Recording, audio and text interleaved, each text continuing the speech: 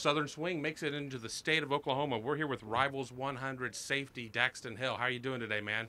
I'm doing pretty good. Today was your guys' first day of, of spring ball.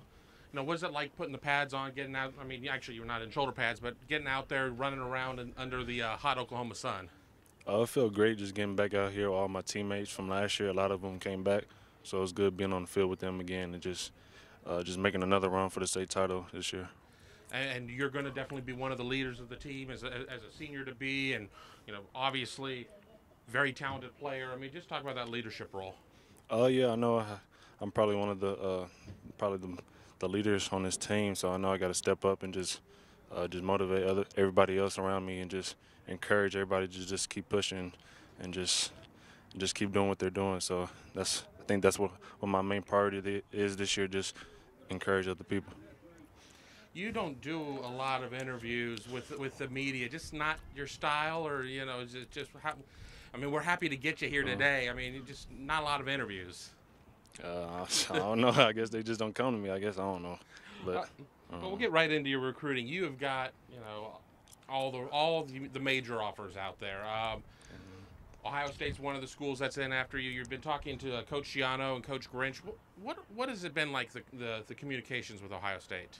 I've been in communication with them for a while, so I mean I know a little bit a little bit about Coach Grinch, but I know I've been talking to Coach Schiano for for about a year now, so I've got a pretty good relationship with Coach Schiano. But uh, overall, just have great communication with them. Just hopefully, I can just keep eh, keep getting better relationships with them. What what what is it that they that they're telling you? I mean, obviously they've had a lot of success putting corners in the league, and they've put some safeties in the league too. I mean, the corners in the first round. But what else do they tell you besides that? Uh, just really the whole the whole camp is really just a great place to be. Academics, they're one of the top schools, so that's what they talk about as well, just academics outside of football. And I, I know another thing that they've really got a lot of uh, publicity about is the real life Wednesdays, the life after football, whenever that may be. Is that uh, something else too that they've uh, uh kind of hammered? A little bit, not really, but I think they talked to me about it a few times. So. Mm. Now, I think a lot of people think it may be tough to even just get you out of the state. You have a brother at Oklahoma State. Obviously, Oklahoma's putting together a tremendous class. I mean, what is it about the two in-state schools and, and what what they're doing right now? I mean, they're I think they're probably like the best, the best, two best teams in the Big 12. So I know they're pretty hard on me and just staying in state and just competing at the highest level in the Big 12. But I mean, I know it's always a, a tough competition between the two top teams in Oklahoma. So I think they're going head to head. Really just how hard they've been on me. Does Oklahoma State get extra credit for having having a family member there? Uh, no, nah, really not. That doesn't really uh, make my decision. I just do what's best for me. You've got an official visit coming up here soon. Uh, mm-hmm. Where are you going, and when is that going to be? I'll be going to Alabama, and uh, I think that'll be sometime in June. So I'll be doing that this this this June. Now, mm-hmm. is the goal just to maybe do like the one summer official and then do the rest during the season? I really don't have my schedule on the officials, but I probably I'm looking at probably taking three in the summer, and I think two in the fall. Ohio State got a good shot of landing one of those. Oh yes, sir.